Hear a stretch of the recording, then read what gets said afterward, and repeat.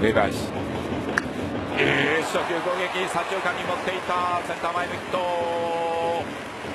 当然意識するでしょうねと池田さんにお聞きしようとしたんですが。まああの牧原を意識するというよりかやっぱり自分の体のことで精一杯だと思うんですよ、まあ、ここを守るのが彼にとっては一番いいでしょうね。おそらくそうでしょうね。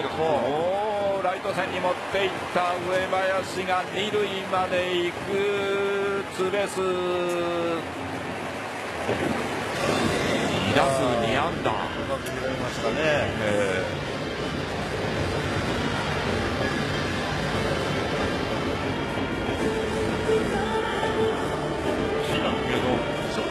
カットボールですか？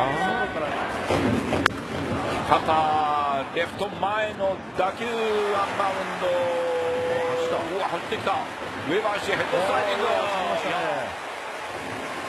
今レフトの方が行かないという感じだったんじゃないですかねそうでしょうね、ね、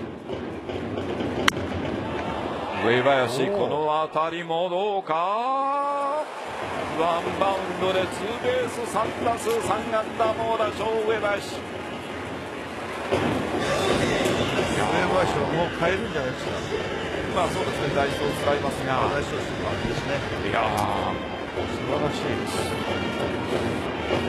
もうものの見事に結果出しましたね。ええ。ー、本当ですね